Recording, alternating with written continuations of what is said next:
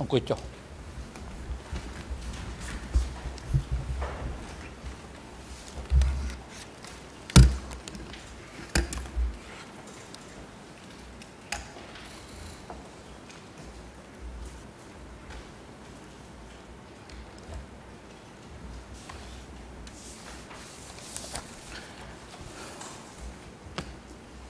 អង្គជំនុំជម្រះប្រកាសបន្តកិច្ចដំណើរការនីតិវិធីសកម្មការ សកម្មនៅថ្ងៃនេះអង្គជំរះនឹងធ្វើសកម្មការស្ដាប់ការដាក់បង្ហាញឯកសារកੰលឹះដែលនឹងធ្វើដោយសហមិត្តវីនៅមុខតំណាងដើមរងរដ្ឋបវនីបញ្ចប់ហើយនឹងដោយក្រមសហមិត្តវីការពារក្តីគឺសម្ផនពាក់ព័ន្ធទៅនឹងអង្គហេតុការប្រព្រឹត្តទៅលើក្រុមមនុស្សគោលដៅជាក់លាក់ចំនួន3គឺចំពោះជនជាតិចាមចំពោះជនជាតិវៀតណាមនិងចំពោះអតីតអ្នករដ្ឋការនៃរបបសាធារណរដ្ឋសាធារណរដ្ឋខ្មែរ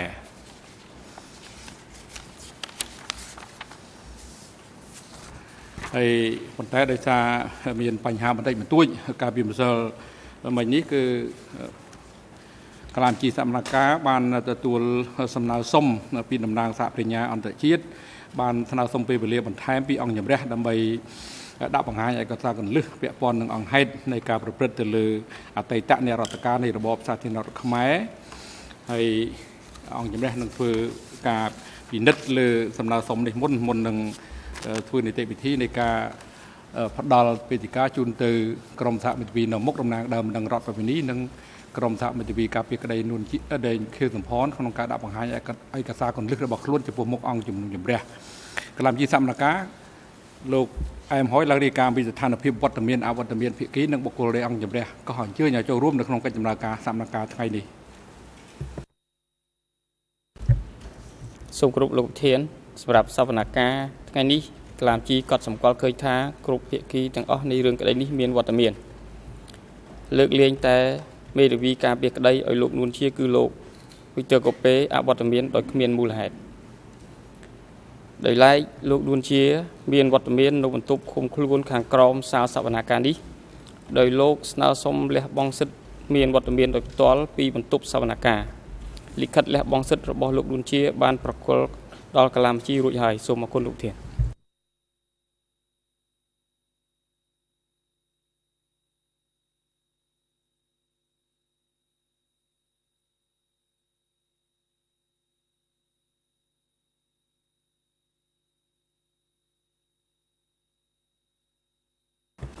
បាទអរគុណហើយជាដំបងនេះអង្គជំរះសម្រាប់លើដំណើរសុំរបស់ជនជាប់ចោតនួនជានៅជាមុនសិន អង្គជំរះបានទទួលលិខិតសំលះបងសិទ្ធចូលរួមសកម្មភាពដែលផ្ទាល់ក្នុងបន្ទប់សកម្មភាពនេះរបស់ជនជាប់ចោតនួនជាចុះថ្ងៃទី24ខែកុម្ភៈឆ្នាំ2016ហើយបានបញ្ជាក់ថាដែលគាត់មានបញ្ហាសុខភាពឈឺក្បាលឈឺចង្កេះមិនអាចអង្គុយយូរបានមិនអាចផ្ចង់អារម្មណ៍បានយូរនិងដើម្បីមានលទ្ធភាពចូលរួមសកម្មភាពនៅថ្ងៃខាងមុខឲ្យមានប្រសិទ្ធភាពខ្លួនសូមលះបង់សិទ្ធចូលរួមនិងមានវត្តមានដោយផ្ទាល់ក្នុងបន្ទប់សកម្មភាពនៅថ្ងៃទី24ខែកុម្ភៈឆ្នាំ2016 មេធាវីការពីក្តីរបស់ខ្លួនបានប្រាប់អំពីផលប៉ះពាល់នៃការលះបង់សិទ្ធិនេះថាការលះបង់សិទ្ធិនេះមិនអាចបកស្រាយថាជាការលះបង់សិទ្ធិរបស់ខ្លួនក្នុងការកាត់សេចក្តីដែលយុត្តិធម៌ឬក៏សិទ្ធិក្នុងការជំទាស់ទៅនឹងការតផោះតាំងក្នុងការដាក់បង្ហាញឬដាក់ជូនតុលាការនេះគ្រប់ពេលវេលានៃសមនការលើរូបខ្លួនឡើយបានឃើញកំណត់ហេតុវិនិច្ឆ័យសុខភាពជំជាប់ចោតនុនជាដែលធ្វើឡើងដោយគ្រូពេទ្យប្រចាំការ ពិនិត្យព្យាបាលថែទាំសុខភាពជនជាប់ចោតនៅអវតកចុះថ្ងៃទី24ខែកុម្ភៈឆ្នាំ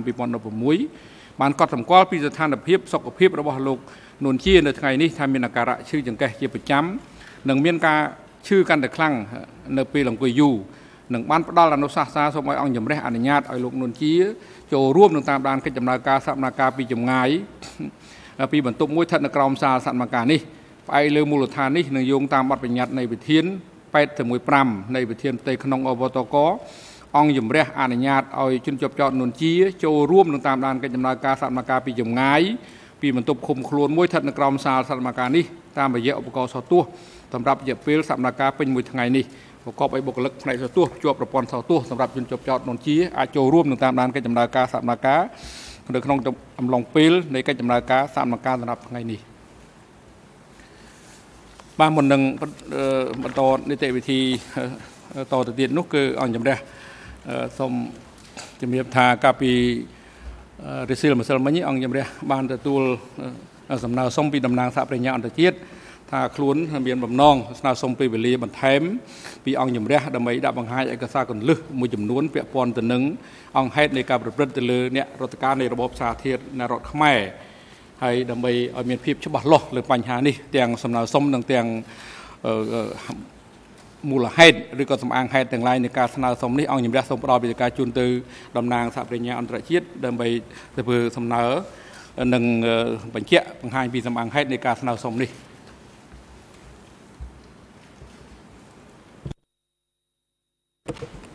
Uh, thank you, uh, Mr. President. Good morning, Your Honors, uh, Council.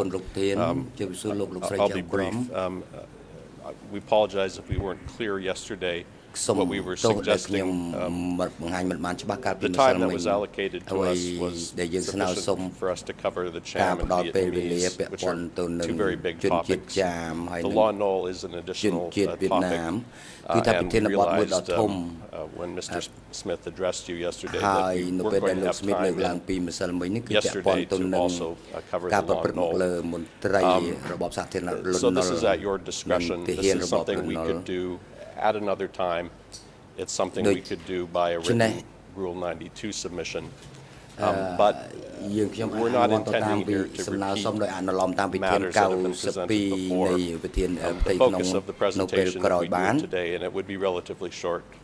30 minutes to, to maybe 40 minutes uh, is to more to focus on the issue that has arisen in this trial uh, about the law no policy, and particularly in relation to the testimony that there was a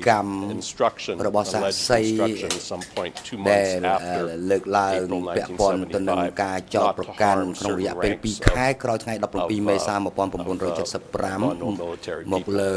So our presentation is focused on documents that relate to that issue. Now it's again it's something we can do other times ដូច្នេះជាថ្មីម្ដងទៀតគឺថាសំណើសុំនេះគឺអាចអនុញ្ញាតឲ្យខ្ញុំ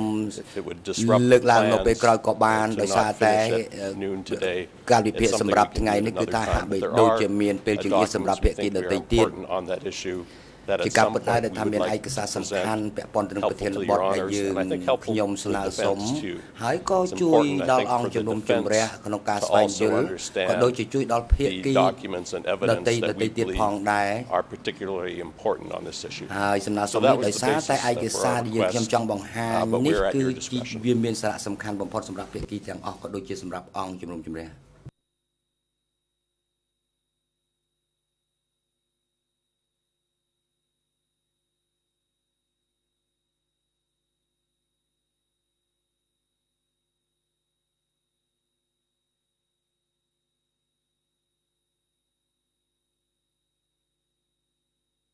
បាទចុះភាគីដទៃទៀតមានមតិយោបល់អ្វីទេលើសំណើសុំរបស់តំណាងថាបញ្ញាអន្តរជាតិក្នុងការស្នើសុំពេលវេលាក្នុងការដាក់បង្ហាញឯកសារកន្លឹះមួយចំនួនពាក់ព័ន្ធជាមួយនឹងអង្គហេតុទាំងឡាយនៃការប្រព្រឹត្តទៅលើអតីតទាហាននៃរបបសាធារណរដ្ឋខ្មែរដែលគាត់បានបង្ហាញអមាញ់មិញនេះដំបងនេះផ្ដល់វិធានការជូនទៅក្រមសហមិត្តវីនាំមុខតំណាងដើមដឹងរដ្ឋរំនេះតើមានមតិយោបល់កត់សម្គាល់អ្វីដែរទេលើសំណើសុំនេះ បាទសូមគោរពលោកប្រធានលោកស្រីចៅក្រមសម្រាប់ខាងមេធាវីនាំមុខមិនមានអ្វីជាការជំទាស់ទៅដល់សំណើសុំរបស់សហពាអាញាទេហើយថ្ងៃនេះយើងសម្រាប់ខាងយើងខ្ញុំគឺយើងត្រូវការតែរយៈពេលខ្លីទេដូច្នេះខ្ញុំគិតថាវាមិនប៉ះពាល់ទេលើកលែងតែ មានយោបល់អ្វីផ្សេងពីខាងខាងការពារក្តីចក្រមសហមិត្តវីការពារក្តីលោកនួនជាតែមានមតិយោបល់អីទេ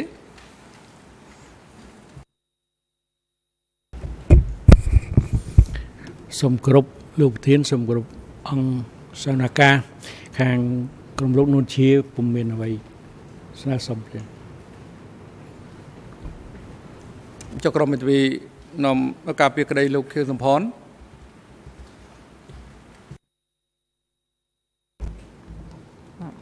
Excusez-moi, Monsieur le Président, mais je n'avais pas eu de traduction de ce qu'a indiqué mon confrère en français. Donc, en ce qui concerne la position de M. Kessampan, nous, avons, nous avions objecté sur le principe de réévoquer la question des politiques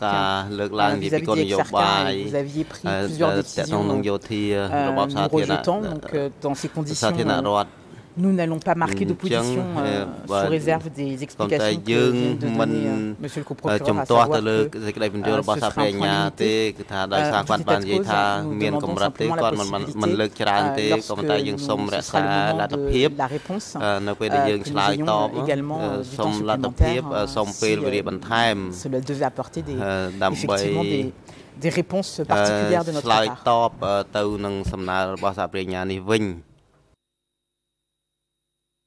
បាទបើដូចបើដូច្នេះគឺអង្គជំរះអនុញ្ញាតតាមសំណើសុំរបស់តំណាងសហប្រញ្ញាអន្តរជាតិក្នុងការផ្ដល់ពេលវេលាបន្ថែម40នាទីតាមដំណើរសុំក្នុងការបង្ហាញឯកសារកន្លឹះពាក់ព័ន្ធជាមួយនឹងប្រធានបទចំពោះអនុវត្តចំពោះគោលដៅជាក់លាក់ចំពោះអតីតទាហាននៃរបបសាធារណរដ្ឋខ្មែរក្រោយឆ្នាំ1975សូមអញ្ជើញបាទ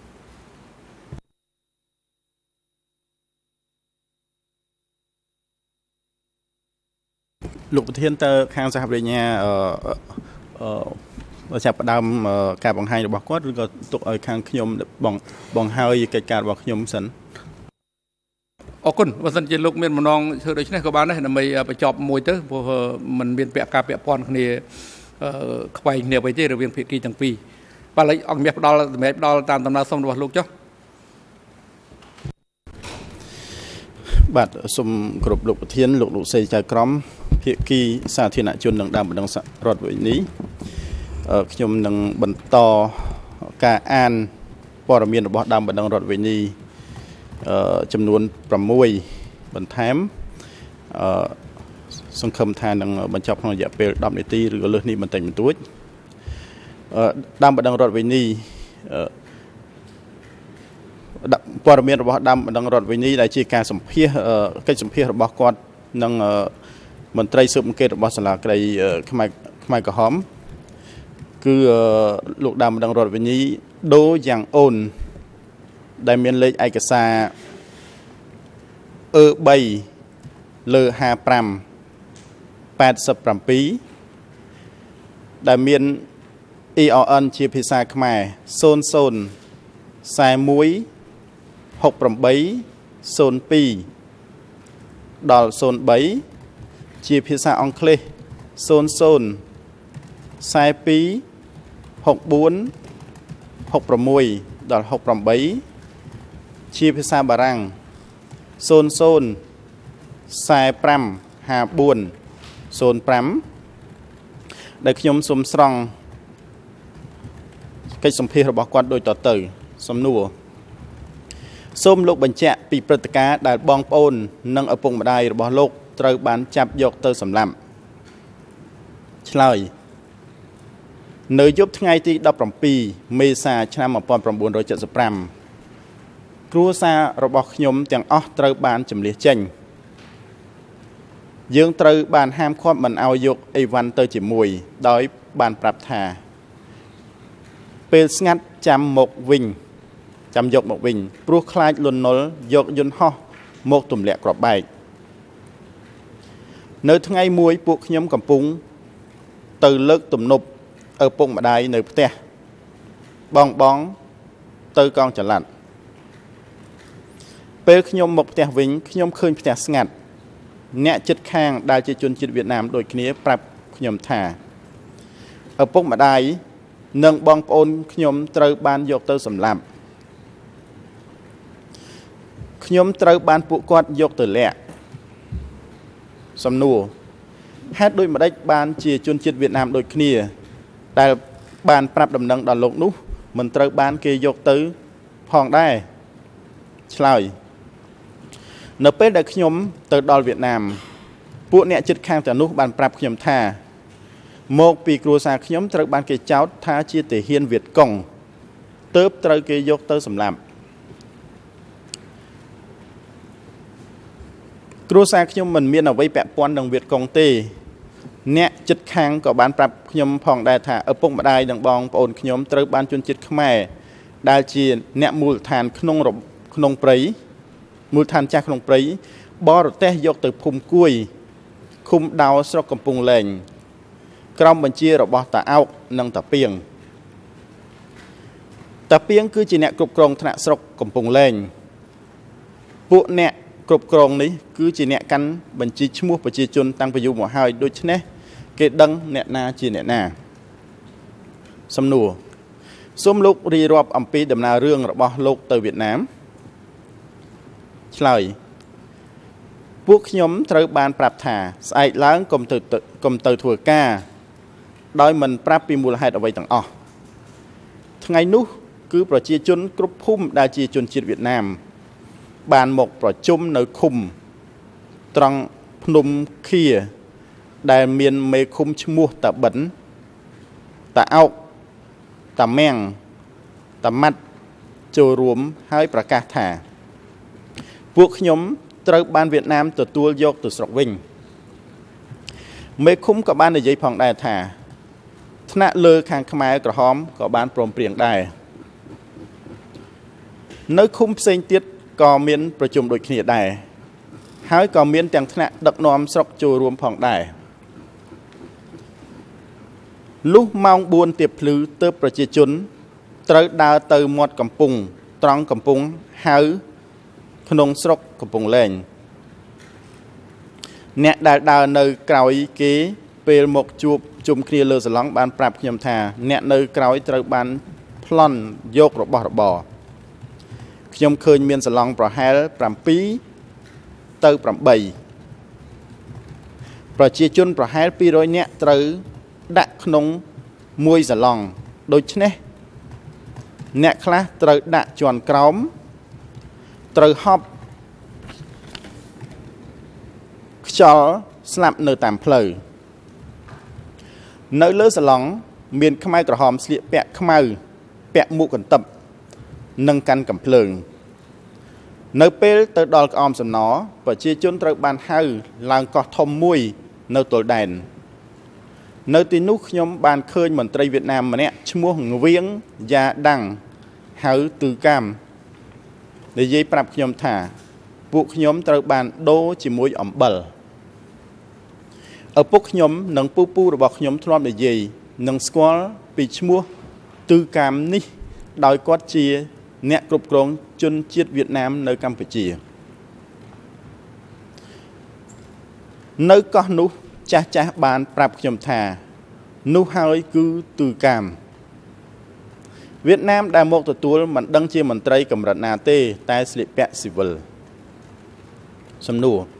នៅពេលដែលប្រជុំដើម្បីចេញដំណើរមកវៀតណាមតើប្រជាជនមានជំរើសឬក៏ត្រូវតែធ្វើតាមបញ្ជាឆ្លើយ มันមានអ្នកណាហ៊ានតវ៉ាទេសួរចំពោះការជ្រើសរើសនៅក្អមសំណតើត្រូវបានធ្វើដូចម្ដេចឆ្លើយប្រជាជនត្រូវទម្រាបជួរគ្នាចូលកន្លែងត្រួតពិនិត្យម្ដងម្នាក់ដែលនៅក្នុងនោះមានតែមន្ត្រីវៀតណាមសុទ្ធបើអ្នកណាវៀតណាមមិនទទួលខ្មែរក្រហមចាំទទួលយកទៅវិញនៅខាងក្រៅ មានប្តីឬកពុប្រពន្ធដែលជាខ្មែរត្រូវបានហាមឃាត់មិនអោយទៅជាមួយគ្នាជាគ្រួសារទេ ចំពោះខ្មែរក្រហម បានធ្វើការជ្រើសរើសនៅភ្នំខៀនោះរួចហើយ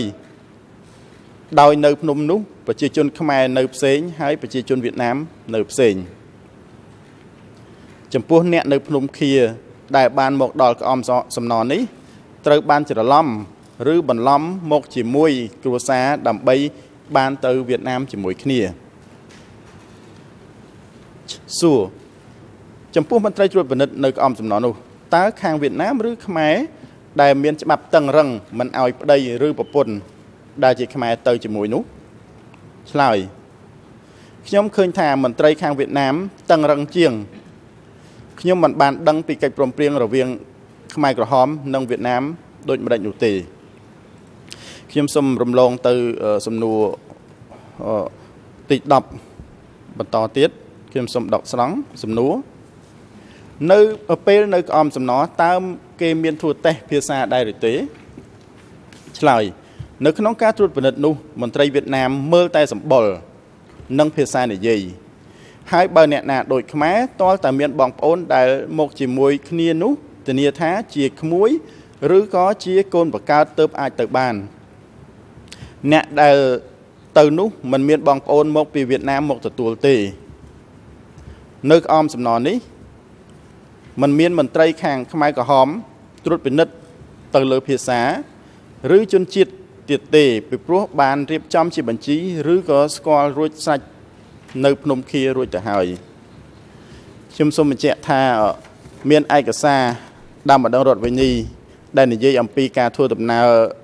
ការបង្ខំឲ្យចាក់ចេញទៅវៀតណាមដោយនឹងដើមម្ដងរដ្ឋវិនីដែលខ្ញុំទើបតែអានបាញ់មិញដែរគឺដើមម្ដងរដ្ឋវិនីលើយ៉ាងសួរដែលមានលេខឯកសារអឺ3លើ56 26ហើយឯកសារដដែលនេះត្រូវបានដាក់លេខមួយទៀតគឺលេខអឺ3 45 74ហើយក៏មានដើមម្ដងរដ្ឋវិនីម្នាក់ទៀតឈ្មោះ កុំកុំអត់តន់មិនតន់អញ្ជើញជិះលើចក្រមមកឡើយវិញ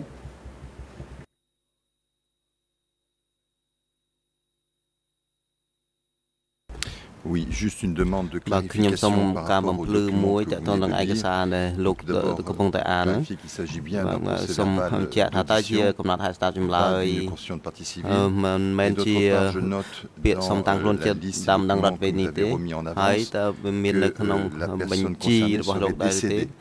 ដែលថាជាឯកសាររបស់បុគ្គលម្នាក់ដែលស្លាប់ហើយហ្នឹងឬក៏មិនមែនទេបាទសូមគោរពលោកចៅក្រមឡាវែងនេះគឺជាកិច្ចសម្ភាសរបស់ដើមបណ្ដឹងរដ្ឋប្រវេណីជាមួយមន្ត្រីនៃការិយាល័យចៅក្រមស៊ើបអង្កេតលោកដូយ៉ាងអូន បានស្លាប់រួចទៅហើយ ខ្ញុំសង្ឃឹមថាខ្ញុំបានឆ្លើយនឹងសំណួររបស់លោកចៅក្រមបាទអញ្ចឹងឯកសារដែលនិយាយដូចគ្នានេះគឺគឺកិច្ចសម្ភាសរបស់ដើមម្ដងរដ្ឋវិនីលោកត្រាំងយ៉ាងយ៉ងដែលលោកត្រាំងយ៉ាងយ៉ងនេះក៏បានស្លាប់ទៅហើយដែរហើយឯកសាររបស់គាត់គឺលេខ E3 លើ5588ខ្ញុំនឹងមិនអានឯកសារទាំងពីរនេះទេដោយសារ នឹងមានលក្ខណៈចំដែលច្រើនហើយព័ត៌មាននិយាយអំពីបញ្ហាបញ្ជូនវៀតណាមទៅប្រទេសវិញហើយដូចគ្នាខ្ញុំចូលទៅដល់ព័ត៌មានរបស់ដើមម្ដងរដ្ឋវិនីជាបន្តបន្ទាប់ទៀតដែលសូមដកស្រង់ខ្លីៗដែលនិយាយអំពីការសម្លាប់ជនជាតិវៀតណាម នៅព្រៃវែងនិងអំពើប្រឆាំងទៅនឹង ជនជាតិវៀតណាមឬផ្សេងផ្សេងទៀតបាទដើមបណ្ដឹងរដ្ឋវិនីពាក្យពាក្យសុំរបស់ដើមបណ្ដឹងរដ្ឋវិនីរបស់លោកស្រីឆាយអៀតលេខអឺ3លើ60 88លោកស្រីនិយាយអំពីព្រឹត្តិការណ៍ទៅលើប្តីគាត់អឺឈ្មោះជាជឿនដែល កើតឡើងនៅ7ឆ្នាំ76និង1977នៅឃុំស្វាយជ្រុំស្រុកមេសាងខេត្តព្រៃវែងហើយអឺ ERN ដែលខ្ញុំនឹងដកស្រង់គឺលេខជាភាសាខ្មែរលេខ00503242ជាភាសាអង់គ្លេស01137799ជាភាសាបារាំង มันមានទេក៏ប៉ុន្តែ បានស្នើសុំការបកប្រែរួចហើយដូចឯកសារមុនមុនដែលខ្ញុំបានអានជូនអំបញ្ញមិញសុទ្ធឯកសារនេះគឺនៅក្នុងបញ្ជីដែលបានបញ្ជូនមកលោកលោកស្រីចៅក្រមហើយនិងភាគីរួចទៅហើយដូច្នេះខ្ញុំសូមដកស្រង់ដូចតទៅ នៅខែកក្កដាឆ្នាំ1976សុនវ៉ាតជា ប្រធានគណៈកងភូមិតូច ត្រា គណៈគណៈកងតូចភូមិត្រា បានចាប់ប្តីរបស់ខ្ញុំឲ្យនៅជាប់ប្រមូលផ្ដុំអ្នកទោសជាមួយតាទុនអ្នកផ្សេងទៀតផ្លេចឈ្មោះហើយសុនវ៉ាតជាគណៈកងភូមិតូចភូមិត្រាគណៈកងតូចភូមិត្រា បានហៅប្តីខ្ញុំឈ្មោះជាជឿនឲ្យនៅបែកពីខ្ញុំពេលឃើញឬក៏ជួបគ្នាពុំដែលបាននិយាយតាក់ទងគ្នាឡើយហើយ សមាមិត្តសុនវ៉ាត បានឲ្យប្តីខ្ញុំធ្វើការយ៉ាងធ្ងន់ធ្ងរដូចជាដកស្ទង់ជួររស់រែកដីចជីកដីធ្វើជីគ្មានសម្រាកហូបមិនឆ្អែតហូបតែបបររាវរាវធ្ងន់ធ្ងរជាងអ្នកទោសដទៃទៀតខែឧសភាឆ្នាំ1977ប្តីរបស់ខ្ញុំ ជាជឿនត្រូវបានខ្មែរក្រហមសម្លាប់មុនដំបូងសុនវ៉ាតដែលជាប្រធានកងតូចភូមិទ្រាបានចោទប្តីខ្ញុំ ជាខ្មាំង ជាភ្នាក់ងារយួនទាំងខ្លួនពុំដឹងអ្វីទាល់តែសោះមុនដំបូងឈ្មោះសុនវ៉ាតដែលជាប្រធានកងតូចភូមិទ្រាបានចោទប្តីខ្ញុំជាខ្មាំងជាភ្នាក់ងារយួនអឺមុនសំទោសសំអានម្ដងទៀតមុនដំបូងសុនវ៉ាតដែលជាប្រធានកងតូចភូមិទ្រាបានចោទប្តីខ្ញុំជាខ្មាំងជាភ្នាក់ងារយួនទាំងខ្លួនពុំដឹងអ្វីទាល់តែសោះហើយសុនវ៉ាតបានឲ្យប្តីខ្ញុំទៅចូលរួមប្រជុំនៅវត្តស្វាយជ្រុំ ភូមិស្វាយជ្រុំឃុំស្វាយជ្រុំស្រុកមេសាងខេត្តព្រៃវែងជាមួយអ្នកប្រមូលផ្ដុំផ្សេងទៀតផ្លេចឈ្មោះពេលទៅដល់ពួកទាហានអាវខ្មៅពុំស្គាល់ឈ្មោះបានចាប់ប្តីខ្ញុំវាយសួរចម្លើយ50ខ្សែតីសួរម្ដងដោយពួកគេនិយាយថាឲ្យតែឆ្លើយសារភាព នោះពួកគេលែងវាយហើយឲ្យទៅនៅផ្ទះវិញដោយទិរិនកម្មយ៉ាងធ្ងន់ធ្ងរពុំអាចទ្រាំបានប្តីខ្ញុំក៏សារភាពថា ជាភ្នាក់ងារយួនទាំងខ្លួនពុំដឹងអ្វីទាល់តែសោះហើយនៅខែនោះខែឧសភាឆ្នាំ1977ពួកដែលពាក់អាវខ្មៅខោអាវខ្មៅពាក់មួកកន្ទប់កាន់កំភ្លើងគ្រប់ដៃពុំស្គាល់ឈ្មោះ បានទទួលបញ្ជាពីសុនវ៉ាតជាប្រធានគណៈកងទូចភូមិទ្រា បានបណ្ដើប្តីខ្ញុំចេញពីសហគរច្រេះក្បត់ភូមិច្រេះឃុំច្រេះស្រុកមេសាងខេត្តព្រៃវែង ទៅទួលជើងចាបភូមិសពរឃុំ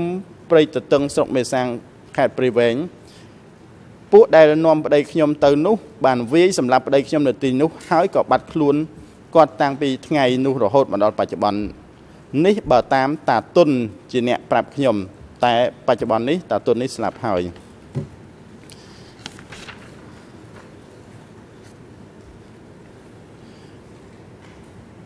ដើមម្ដងរដ្ឋវិនីម្នាក់ទៀតដែលមាន ពាក្យសុំតាំងខ្លួនជាដើមម្ដងរដ្ឋវិនីរបស់គាត់មានលេខអឺ3លើ60 49គឺលោកស្រីយ៉ងយ៉ងលេខឯកសារដែលខ្ញុំដកស្រង់គឺជាភាសាខ្មែរមានលេខ ERN 00 50 08 52 53ជាភាសាអង់គ្លេស01 13 77 77 73ជាភាសាបារាំងមិនមានទេ តែបានស្នើសុំបកប្រែរួចហើយខ្ញុំសូមដកស្រង់ដូចតទៅខែមិថុនាឆ្នាំ1976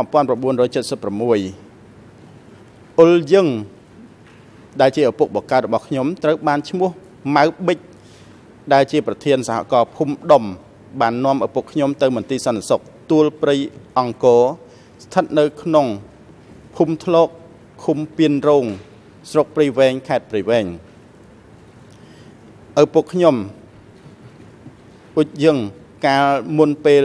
ម៉ៅប៊ិចចាប់យកទៅគាត់ត្រូវបានម៉ៅប៊ិចនេះឲ្យគាត់ទៅធ្វើការនៅកន្លែងរោងសិប្បកម្មមួយ ក្នុងភូមិដុំជាមួយចាស់ចាស់ម៉ៅប៊ិច ឲ្យធ្វើល្អីកញ្ច្រែងចង្អេរនាស់និងគល់បង្គី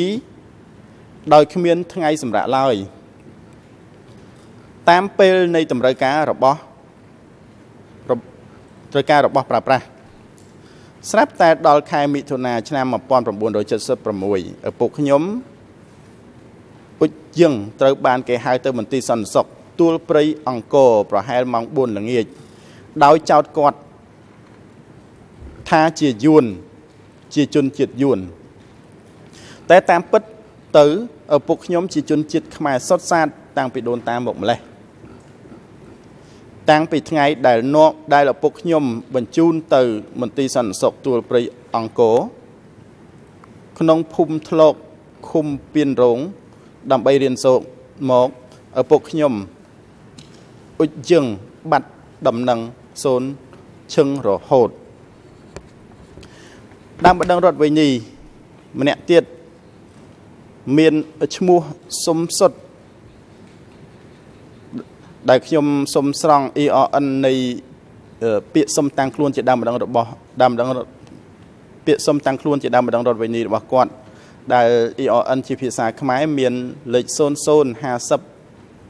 11 22ដល់23 ERN អង់គ្លេស01 13 77 82 ERN ជាភាសាបារាំង01 15 51 36ដែលខ្ញុំសូមដកស្រង់ដូចតទៅហុងហេន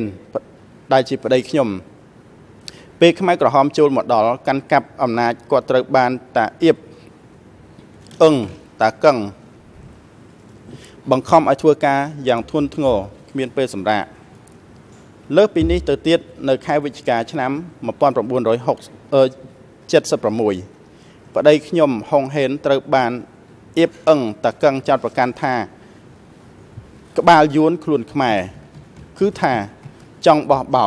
ដែលខ្លួនគាត់ពុំដឹងអ្វីទាល់តែសោះហើយអៀបអឹងតកឹងក៏បានបញ្ជូនគាត់ទៅនៅក្នុងវត្ត ភ្លៀកភ្នៀតភូមិភ្នៀតឃុំស្វាយជ្រុំស្រុកមេសាងខេត្តព្រៃវែង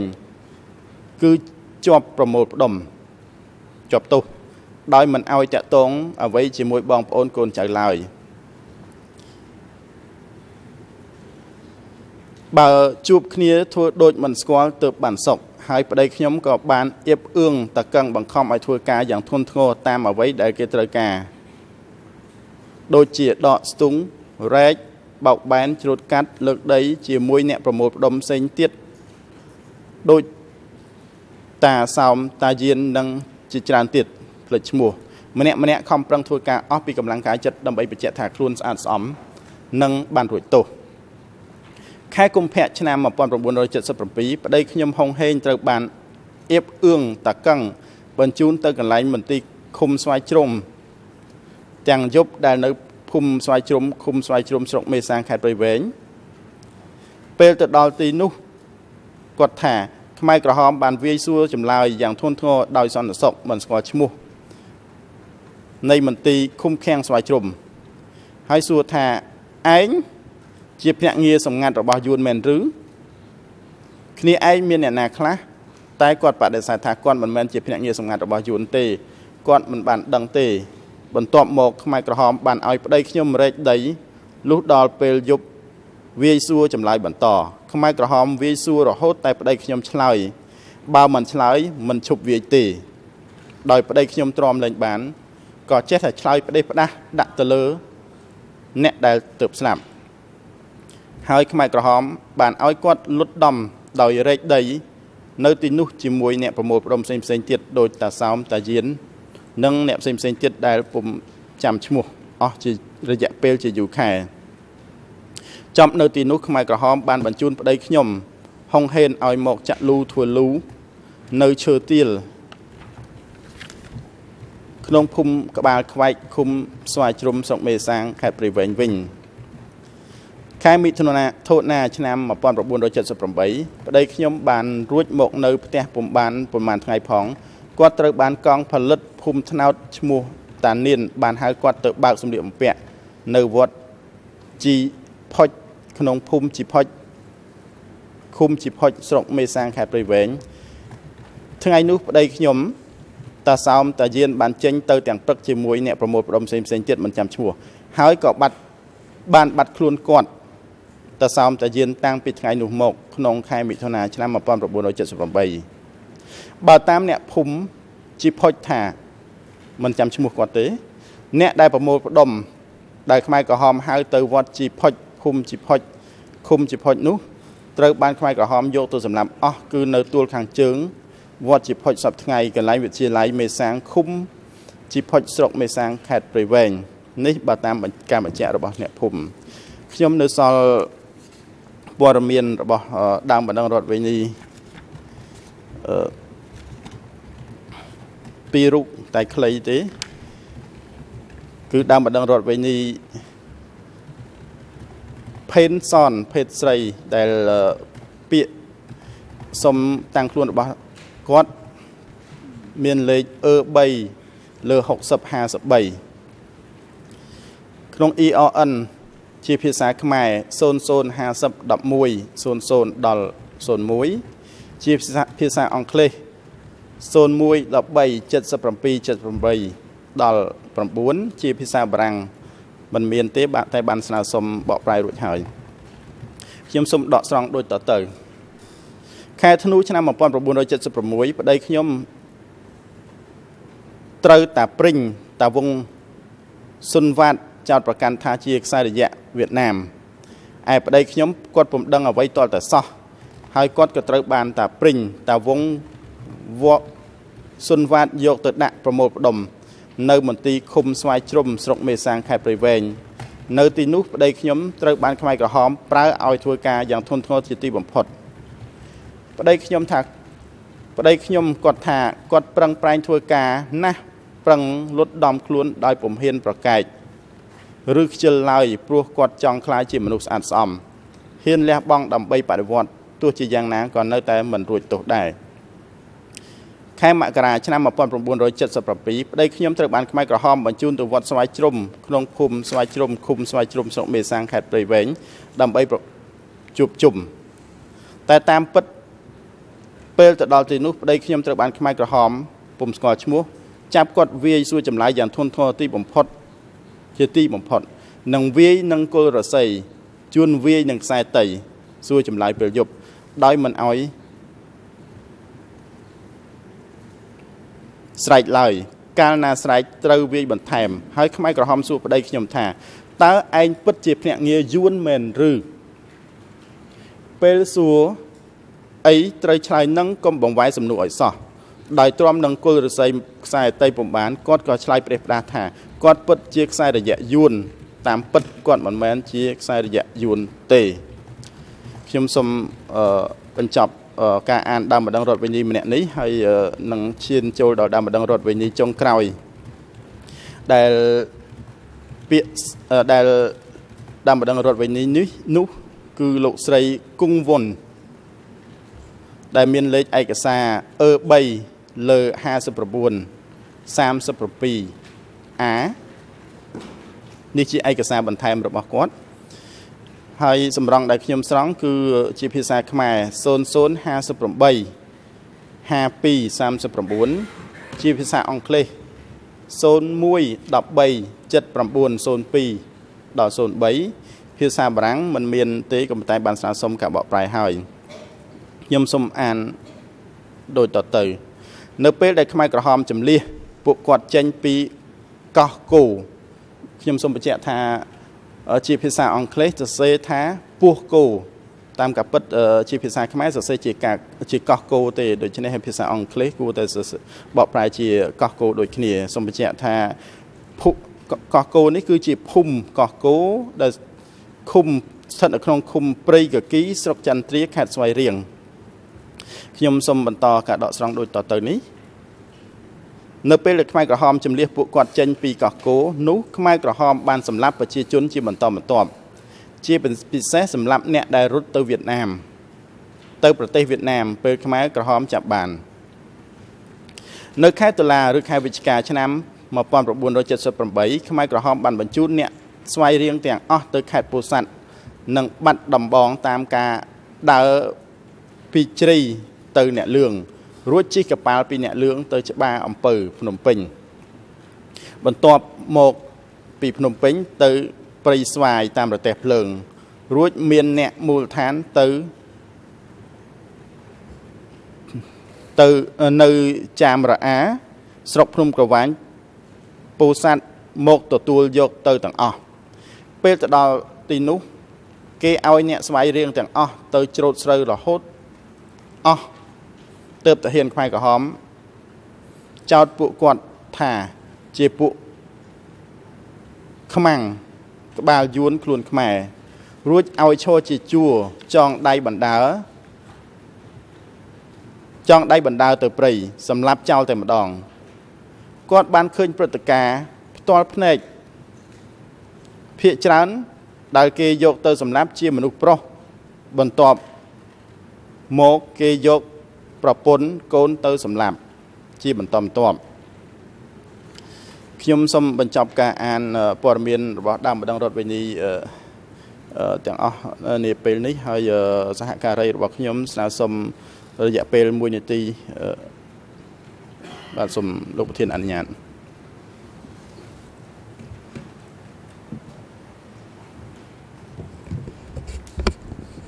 Monsieur le Président, une minute, si vous m'autorisez, car j'ai oublié d'informer la Chambre et les partis d'un élément qui me paraît important. Je voulais indiquer que le contenu de tous les documents que nous avons présentés hier et aujourd'hui, toutes គឺជាខ្លឹមសារនៃពាក្យសម្ដំដឹងរដ្ឋវេនីហើយនឹងព័ត៌មានបន្ថែមរបស់ដំណឹងរដ្ឋវេនីត្រូវបានផ្ទៀងផ្ទាត់អស់ហើយជាមុនពេលចាប់ផ្ដើមសវនកម្មនេះគឺផ្ទៀងផ្ទាត់ដោយមេធាវីដែលបានជួបកូនក្តីរបស់ខ្លួន soit directement par les membres ជួនដោយ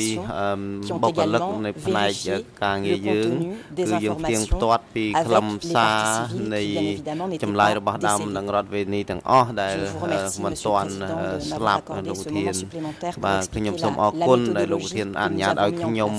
បញ្យល់ពីខ្លឹមសារជាក់លាក់នេះថាយើងបានផ្ទៀងផ្ទាត់ខ្លឹមសារអស់ហើយលោកធានបាទតទៅនេះផ្ដល់វេទិកាជូនទៅសហតំណាងសហប្រញ្ញាដើម្បីធ្វើការដាក់បង្ហាញឯកសារគន្លឹះរបស់ខ្លួនចុងក្រោយពាក់ព័ន្ធនឹង3អង្គហេតុការប្រព្រឹត្តចំពោះគោលដៅជាក់លាក់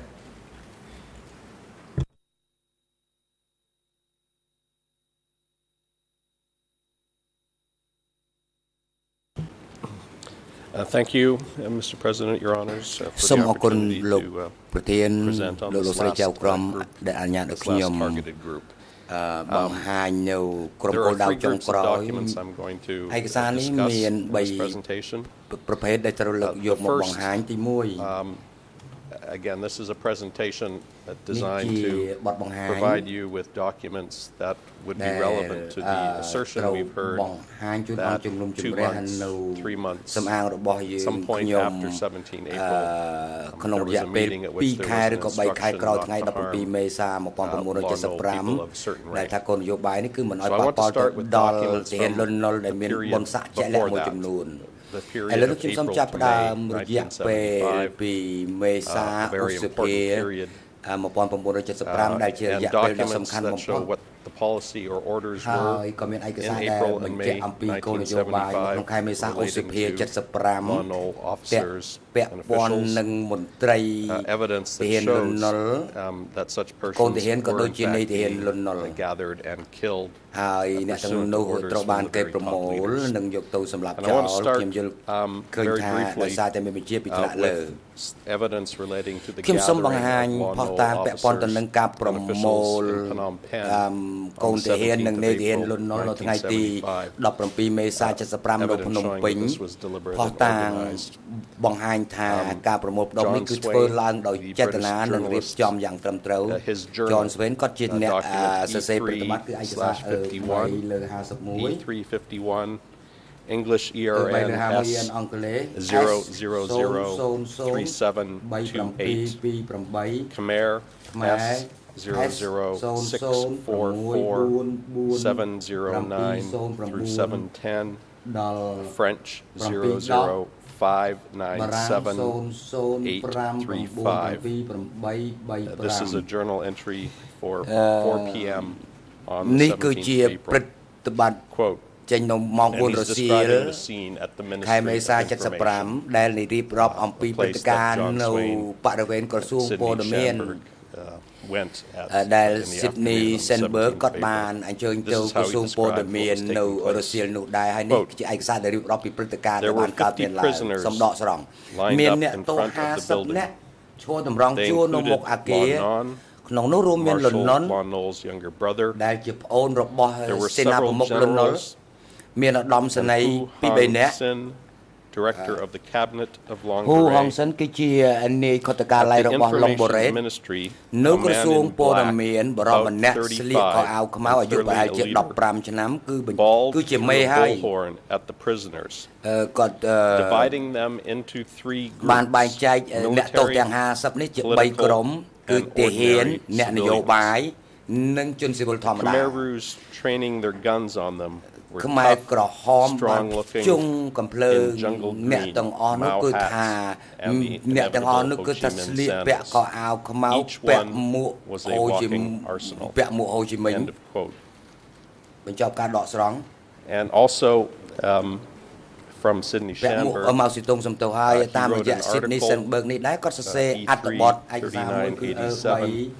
លើ3987ប្រភពនៃឯកសារនេះគឺចេញមកពីកំកំណត់ត្រាដោយដៃរបស់គាត់គឺ3 36លើ1លើ4លើ3.1 236គឺអឺ236លើ1លើ4លើ3.1 The diary which I will quote from កំណត់ត្រារបស់គាត់នេះគឺខ្ញុំដកស្រង់ចេញពីប្រភពដើម This was admitted during Sydney Shanberg's testimony but based on my checking it doesn't ទទួលហើយដោយអង្គជំនុំជម្រះពេលគាត់មកដល់សក្ខីកម្មប៉ុន្តែខ្ញុំឃើញថាមិនទាន់មានអឺ3ទេ Those of us who were there ដូច្នេះអ្នកដែលមានវត្តមានក្នុងពេលគាត់ផ្ដល់សក្ខីកម្មដឹងហើយថាអង្គជំនុំជម្រះសាលាដំបងបានទទួលយកកំណត់ត្រារបស់គាត់ដាក់ចូលក្នុងសំណុំរឿងហើយ that this is an admitted document អញ្ចឹងសូមបញ្ជាក់ថាឯកសារនេះគឺជាឯកសារដែលអង្គជំនុំជម្រះបានទទួលយកហើយហើយមិនមានអឺ3ទេប៉ុន្តែមានអឺ The reference from Schanberg's diary ហើយឯកសារយកចេញពីកំណត់ត្រានេះ EN គឺខ្មែរ009 63956ដល់57អង់គ្លេស0089827 French 00955419 And this is again in relation to the Ministry of Information gathering uh, on the 17th of April. ផ្ដុំមនុស្សនៅក្រសួងព័ត៌មាននៅថ្ងៃ17មេសា75សម្ដកស្រង់មេកងទ័ពគឺថាมันមានអាយុលើសពី35ឆ្នាំទេ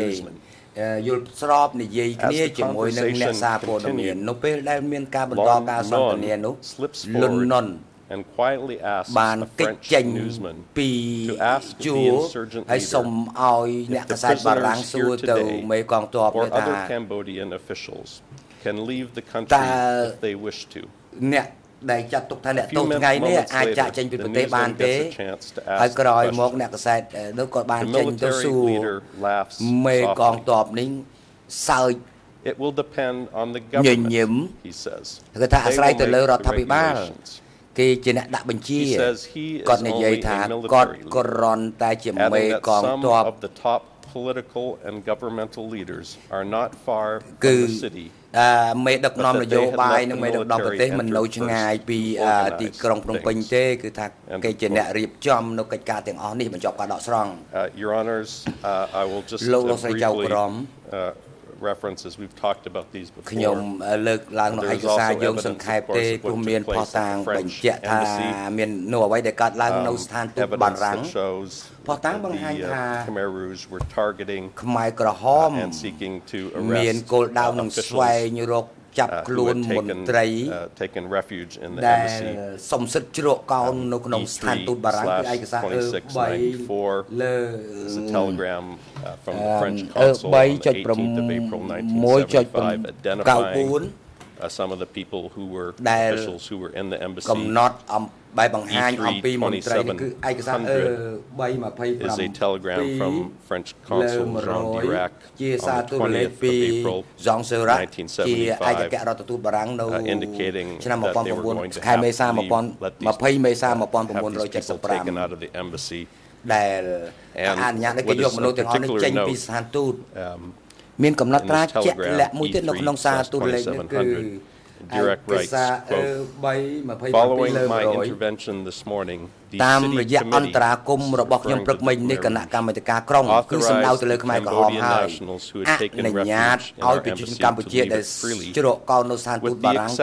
ចាក់ចេញដោយសេរីដោយមានករណីលើកលែងតែមន្ត្រីជាន់ខ្ពស់អឺមួយចំនួន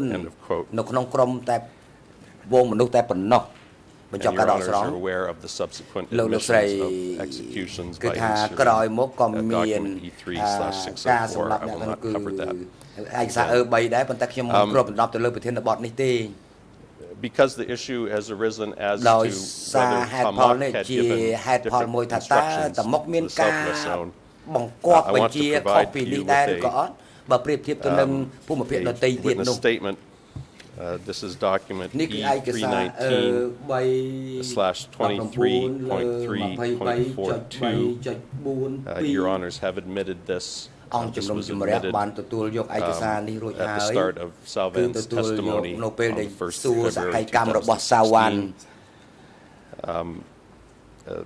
កសារនេះរួចហើយគឺទទួលយកនៅពេលដែលសួរសកម្មកម្មរបស់សាវ៉ាន់ This is a uh, statement from a witness who was a, a commander of a special platoon in Division 1 of the Southwest Army. Uh, the reference is at answers 29នៅត្រង់ចម្លើយ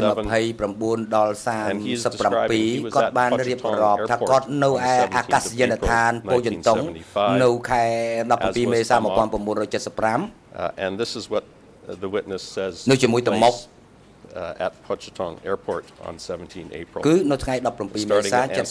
75គឺត្រង់ចម្លើយលេខ30សំដកស្រង់ At around 9 a.m. នៅម៉ោងប្រហែល9ព្រឹក Sumet តមុកស៊ូមេតនិងមាសមុតបានមកដល់ប្រលានយន្តហោះពោធិនតុង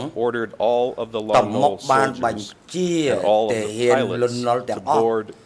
និងអាកាសយានញឹកទាំងអស់ឲ្យឡើងជិះឡានទ្រុងធំមួយពួកគេបានដឹកជញ្ជូនអ្នកទាំងនោះឆ្ពោះទៅទិសខាងលិចដោយបានប្រាប់ថាឲ្យទៅទទួលអង្គការ បញ្ចប់ការដកស្រង់សាស័យបន្តផ្ដល់សកម្មកម្មទៀតថាទាហានលន់នល់និងអាកាសយាននឹកទាំងនោះត្រូវបានកងវរៈស្នាទុយពិសេសមួយយកខ្លួនដឹកយកចេញទៅតាមការបញ្ជារបស់តមុកគឺថាមានម្នាក់ក្នុងមួយឡានមួយឡានប្រហែលជា30ទៅ40នាក់អឺត្រង់ចម្លើយ37ហើយចម្លើយ34ដល់45គាត់បានឆ្លើយដូចតទៅសួរ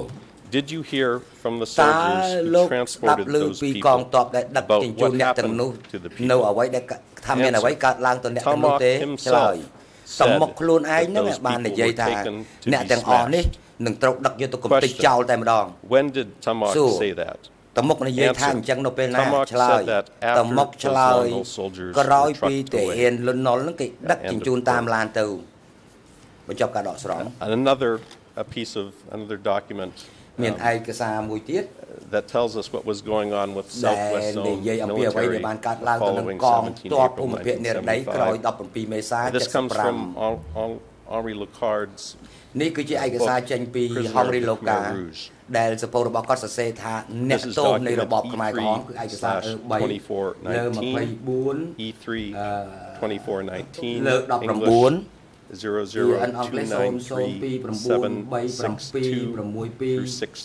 ដល់6 There are no translations មិនមានការ presently បកប្រែនៅសម្រងនេះនៅឡើយទេលោកប្រធាន This is what Henri Locard wrote នេះគឺអ្វីដែល Henri Locard បានសរសេរសម្ដកស្រង់ On 20 April នៅថ្ងៃ20មេសា75 During a big rally at Ville-Rennes ក្នុងពេលដែលមានការបបោយ៉ាងខ្លាំងនៅ Ville-Rennes នោះគឺគឺមានការប្រមូលផ្ដុំទាហាននៅទីនោះហើយគឺថា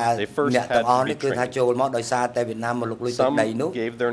អ្នកខ្លះបានប្រាប់ឈ្មោះរបស់ពួកគេទោះបីមិនមែនជាកងទ័ពក៏ដោយ They filled a first contingent of about 20 trucks គេពួកគេត្រូវបានដឹកតាមរយៈឡានធំធំប្រហែលជា20គ្រឿងហើយការដឹកជញ្ជូនទីលើកទី2មានឡានធំធំនោះ20ឡានទៀតហើយអ្នកទាំងអស់នោះក៏បានដឹកទៅកាន់ជួរភ្នំបូកូនៅជិតកាស៊ីណូ from that fatal 20th of April នៅជោគវាសនារបស់អ្នកទាំងនេះនៅថ្ងៃទី20មេសា75នោះ គឺនៅក្នុងរយៈពេលមួយមួយសប្តាហ៍ពេញតែម្ដងអឺទាហានលន់នល់រាប់ពាន់អ្នករួមទាំងគ្រួសាររបស់គេត្រូវបានសម្លាប់ចោល There were heaps of clothes and a mound of jewelry that formed a stupa. គឺគេសម្រាប់ចោលនៅក្បែរនឹងវត្តមួយស្ត្រីស្ត្រីហ្នឹង on the pubis under the very eyes of their husbands អឺគឺថាមានការគឺគឺគឺឃើញគេសម្រាប់ប្តីរបស់អ្នកទាំងនោះនៅភ្នែកតែម្ដងហើយជនរងគ្រោះគេទម្លាក់ចេញពី Some children survived ចលងចលងភ្នំនឹងតែម្ដងចុះមកក្រោម but the Khmer Rouge pursued them ហើយអ្នកខ្លះក៏ព្យាយាមរត់គេចខ្លួនតែខ្មែរក្រហមដេញតាមចាប់និងសម្លាប់អ្នកទាំងអស់នោះចោលតែម្ដងបញ្ចប់ការដកស្រង់ Some documents your honors now មានឯកសារខ្លះទៀតក៏បង្ហាញថាតើអ្នកណាជាអ្នកបានបញ្ជាចំពោះការសម្លាប់មន្ត្រីទាហានលន់នល់និងកូនទាហានលន់នល់ក្នុងអំឡុងពេលនោះផងដែរ There were some May 1975ខែឧសភា75 news reports មានរបាយការណ៍សារព័ត៌មានមួយរៀបរាប់អំពីការតាក់ទងតាមវិទ្យុដែលត្រូវបានគេលបស្ដាប់ leaders គឺការតាក់ទងតាមវិទ្យុដោយមេខ្មែរក្រហមគឺឯកសារ3លើ33 93 is the Los Angeles Times ជា article កាសែត Los Angeles Times ដែលរាយការណ៍នៅខែឧសភា75 and it is reporting on a um, កាសែតនេះរាយការណ៍ អំពីការចេញព័ត៌មានប្រចាំសប្តាហ៍ថាគេបានលបស្ដាប់បច្ចុតាក់ទងរបស់ខ្មែរក្រហមស្ដីអំពីការសម្លាប់មន្ត្រីរដ្ឋការក៏ដូចជាទាហាននៃរបបសាធារណរដ្ឋខ្មែរព័ត៌មាននេះគឺយើងទទួលបានពីការលបស្ដាប់ការតាក់ទងគ្នារបស់ខ្មែរក្រហមដោយភ្នាក់ងារអាមេរិក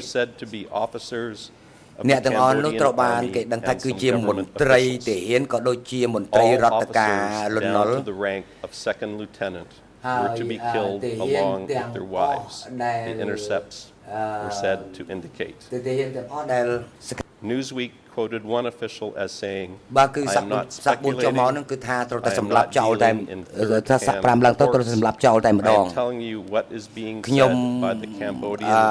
Cambodians themselves ខ្ញុំប្រាប់នៅអ្វីដែលប្រជាដែលកងទ័ពខ្មែរក្រហមខ្លួនឯងបានតាក់ទងនឹងគ្នាគេហើយនិយាយអំពីបញ្ហានេះឯកសារ3លើ33 The Washington Post article ជាកាសែត Washington Post ពីថ្ងៃក្រោយមកគឺនៅថ្ងៃទី6ខែឧសភា75ក៏បានបញ្ជាក់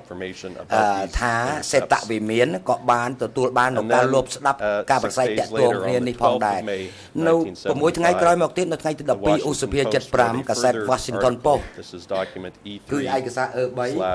E3 លើ33 70 which states ដែល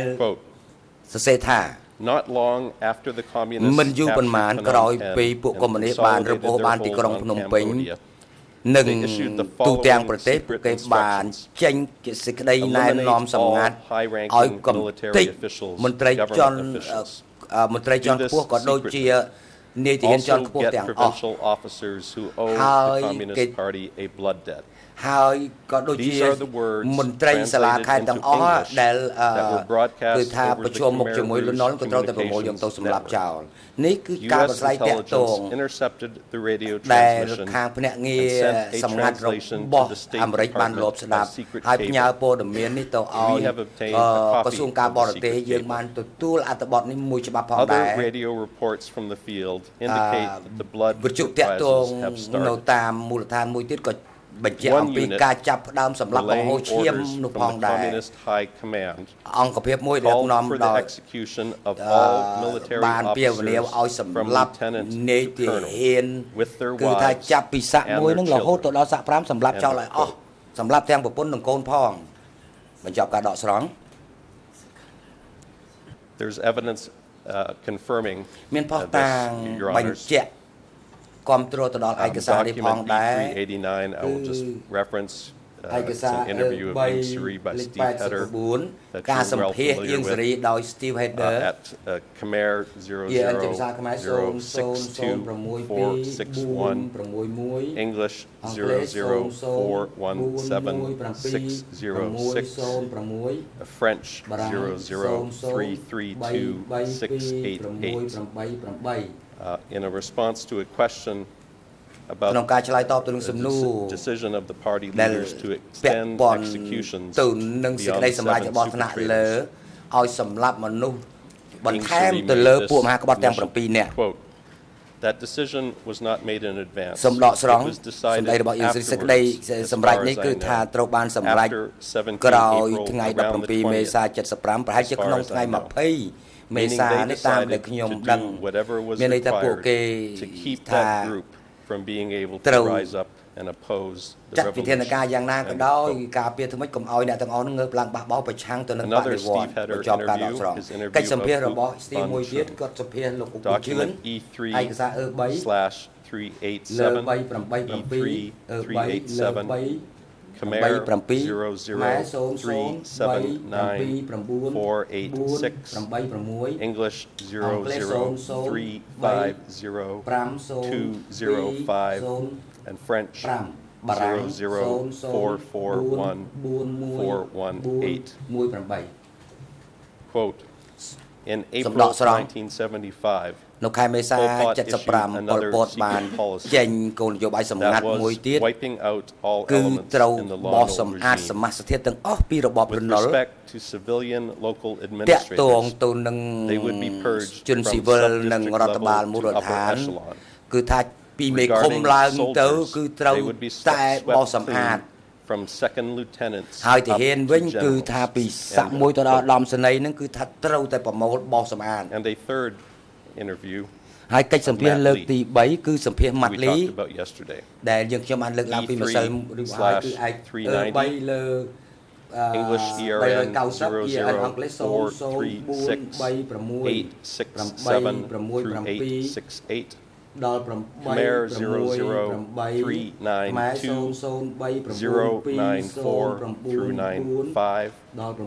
French 00479 through 808ដល់08សំដកស្រង់ Domestic policy គោលនយោបាយក្នុងស្រុក Starting from this ចាប់ it was ដើមចេញ imperative ពី to ចំណុចនេះ dig the trunks គឺ out ចាំ by the roots បាច់ណាស់ដែល dig ត្រូវ out ជីក both ស្មៅ trunks and ត្រូវ roots ជីក the ទាំង city រឹស people គឺ They ពួក researched those អ្នក people ទីក្រុងនេះ and ឯ if ង they had even been first lieutenants ហើយបើ second រកឃើញថាអ្នកណា lieutenants សាក់ or មួយ worked in the សាក់ courts, ពីរ they were killed គឺថាសម្រាប់ to be able to kill អ្នក them ទាំងនោះ they ចោល designated ដើម្បី them all អឺ as សម្រាប់អ្នកទាំង enemies. នោះចោលបានគេធ្វើដោយរបៀបដូចតទៅគេគេគេត្រូវអឺលបងអ្នកទាំងនោះសូមបញ្ចប់ Your ការដ Honor, កស្រង់ the second group of លោកលោក documents ស្រីចៅ I ក្រម want to reference ប្រភេទឯកសារទី uh, are 2ដែល evidence ជាឯក is សារ evidence យោង related នេះ to គឺជាផុសតាង um, Sector 13 and តកតន South, ទៅ the នឹងតំ Southwest ប Zone. ន់13នៃភូមិភាគ Southbound និរ has ដី given evidence សា of វ៉ា an នបាន instruction បង្ហាញ from ផុសតាងថា Sector មានការ 13 បញ្ជាចេញពីតំ Uh, បន់ Secretary, 13 uh, this is evidence ពី that លេ shows ខា what was តំបន់ going on, 13 actually នេះគឺ going ជាឯ on កសារបញ្ជាក់ថា uh, in that sector on the អំពីអ្វី Southwest ដែល Zone. បានបន្តកើតមានឡើងតទៅទៀតនៅក្នុងតំបន់ Um, នេះតែ first, ម្ដងទី uh, 1 starting with Salvan's ខ្ញុំ own សូមនិយាយ district អំពី tram សា cop. វ៉ាន់តែម្ដងដែលមកពីស្រុក Uh, in ត្រាំកក់ addition to the evidence you've heard in បន្ this ថែម courtroom, ទៅលើ of ផុស course, តាងដែលអង្គជំនះ uh, បាន about ស្ដាប់ what took រួច place មក at ហើយនៅ Wat អ្វី Champa ដែលបានកើតមានឡើងនៅ uh, វត្ត and ចំ other បា locations. Um, an excerpt from សម្រង Meng មួយ Tree's book, ចេញ The ពី Chain អៀ of មេង Terror. ទ្រីនិយាយអំពី Uh, this is ខ្សែចង្វាក់ a នៃភាពភ័យ document ខ្លាចគឺឯកសារ E3/2120. 3លើ21 20 Uh, also, uh, E3 ហើយក៏ slash មានឯកសារ3លើ 2121. 21 There are 21នោះ two ផងដែរ different um, មានឯកសារ uh, ពីរ E3 numbers for ផ្សេ this ងគ្នា document. ដែល You មាន need លេ to ខ know that because the 3 lengthier Khmer translation is in the second one, but not the ដោយ first, សារ not តែ the ការបក first តែ one. មានការបកប្រែពាក់ព័ន្ធទៅនឹងសភៅទី2ប៉ុន្តែសភៅទី1មិនមានការបកប្រែ Meng ពាក់ព័ន្ធទៅ Tree នឹង writes, សភៅនេះទេ uh, មេង first ទ្រី of all, បានសរសេរ has an entire chapter in which he នៅ talks about ពេញមួយ arrests ជំពូកតែម្ដងស្ដីអំពីការ that the ចាប់ majority ខ្លួន of those arrested in ដែល mid ភាគច្រើននៃអ្នកដែលត្រូវគេចាប់ខ្លួននឹងគឺនៅពាក់កណ្ដាលឆ្នាំ soldiers 75ឬក៏ and policemen. 76នោះ គឺជា He goes on ទា to ហាន give លន់នល់ some ឬក៏ជា examples, which ប៉ូ I លីស will be របបលន់ referencing. នល់ Uh, starting with uh, at ខ្ញុំ English សូមចាប់ផ្ដើម ERN ត្រង់ ERN អង់គ្លេស004163838 Khmer 01098794 Uh, there is no French មិន translation. មានការបកប្រែជាភាសាបារាំងនៅឡើយទេ Meng Tree E writes, អៀមេងទ្រីសរសេរដូចត former, ទៅ former Popple subdis- subdistrict cadre Tang កម្មាភិបាលម្នាក់ឈ្មោះតេង referring មក here ពី to ឃុំព Popple ពេល co- commune, which was one of the communes in ជាឃុំ Tram. មួយចំណុះឲ្យស្រុកត្រាំកក់ Former Po- Popple subdistrict cadre អតី Tang តមេ stated that in ឃុំពពេលនៃ mid-1975, his ឈ្មោះ subdistrict តេងនេះ chief និយាយថា organized the village and team chiefs អ to ឺ obtain សំទុកគឺ personal តេងកម្មាភិបាល histories ព of the ពេលហ្នឹង people ថា in មេឃុំ Popple. ហ្នឹងគឺបានចាប់ផ្ដើមឲ្យប្រ He មូល explained មនុស្សនៅ that ក្នុង in ឃុំពពេល compiling គាត់និយាយថាមានការប្រមូលប្រវត្តិរូប Cadres កម្មាភិបាលបាន obtained ទទួលព័ត៌មានលម្អិត information on អំពី names, ឈ្មោះ spouses, តួនា children, ទី and occupations. ប្រពន្ធកូននិង After the មុខងារ personal របស់ពួកគេ histories were done, ក្រោយពីសរ Thorne ប្រមូលប្រវត្តិរូបអ្នកទាំងអស់នោះ sent ហើ the យ report ឆន to the district committee. បានបញ្ជូន And after រ that, បាយការណ៍ទៅ those គ in ណៈកម្មាធិ Popple ការ who ស្រុក had been Lon Nol ហើយអ្នក soldiers នៅ or ឃុំព policemen ពេលដែលជា began នគរបាលនិងជា regularly ទាហាន disappearing. គឺថាត្រូវបាន End of quote. បាត់ខ្លួនជាបន្តបន្ទាប់បញ្ចប់ This, ការដក um, the ស្រង់ reference to Chorn was to the ឯ Popple កសារយោងទៅលើឈ្មោះ district ឆននោះ uh, គឺ uh, Popple commune chief គាត់ជាមេឃុំពពេល husband of ហើយ um Ye Bun who we heard ជាប្តីរបស់យាយបឿនដែលបានមកដល់សក្ខីកម្មហើយ describing the same យាយបឿនដែលបានមកដល់សក្ខីកម្មក៏រៀបរាប់ដំណើររឿងដូចគ្នានេះដែរឯកសារទី2មកពីត្រាំកក់គឺកំណត់ហេតុស្ដាប់ចម្លើយឈ្មោះអ៊ីប This witness was the former youth chairman of the district and a member of the Krang Tachan ប្រធានយុវជនស្រុកបែបក្រោយមកធ្វើការនៅសន្តិសុខក្រុងតាចាន់ឯកសារ 3 English 002237 អង់គ្លេស00630677 ខ្មែរ00137493 French 00651 259 to 60 បើបារាំង0065 12 59ដល់60 April group arrested by the militia តើពួក17មេសាត្រូវបានឆ្លូបប្រមូលផ្ដុំឲ្យបញ្ជូនទៅក្រាំងតាចាន់មែនទេឆ្លើយ I don't know what level ខ្ញុំមិនដឹងថាថ្នាក់ណាជាសម្រាប់ទៅលើផែនការនេះនោះទេនៅពេលពួកគេមកដល់ទៅនេះគេបានប្រមូលប្រវត្តិរូបអ្នកទាំងអស់នោះហើយអ្នកណាសរសេរប្រវត្តិរូបថាខ្លួនធ្លាប់ធ្វើជាទាហាននឹងបាត់ខ្លួនហើយ ហើយអ្នកដទៃទៀតគឺថាគេទុកនៅមូលដ្ឋានប៉ុន្តែពួកគេនេះគឺថ្នាក់លើនេះជាអ្នកសម្រេចថ្នាក់លើដែលខ្ញុំនិយាយនេះគឺគឺខ្ញុំនិយាយអំពីទូទាំងប្រទេសម្ដងគឺថ្នាក់លើនោះគឺខ្ញុំសម្ដៅទៅលើមួយឈឹមតែម្ដងបញ្ចប់ការដកស្រង់ Your Honor, some evidence from លោកលោកស្រីមានផុសតាងចេញមកពីមនុស្សពីរនាក់មកពីស្រុកនោះមកពីតំបន់13ដែរ this alleged បាទ អរគុណតំណាងសហប្រញ្ញាអន្តរជាតិឥឡូវនេះដល់ពេលសំទ្របសម្រាប់ហើយអន្តរប្រកាសសម្រាប់ចាប់ពីពេលនេះទៅទៅរហូតដល់ម៉ោង10កន្លះសូមអញ្ជើញចូលវិញដើម្បីបន្តកិច្ចដំណើរការសកម្មភាពសម្រាប់ចុះសូមអញ្ជើញក្រោកឈរ